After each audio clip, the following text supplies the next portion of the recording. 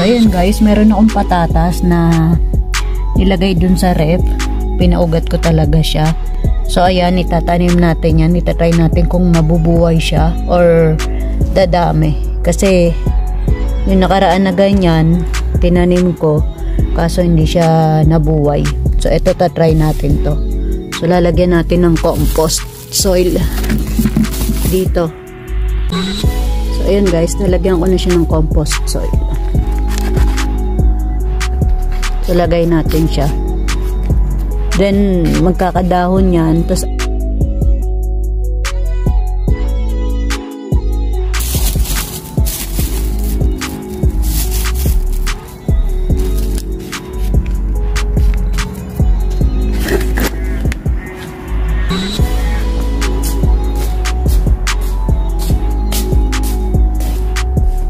So, ayan guys, dyan lang natin siya.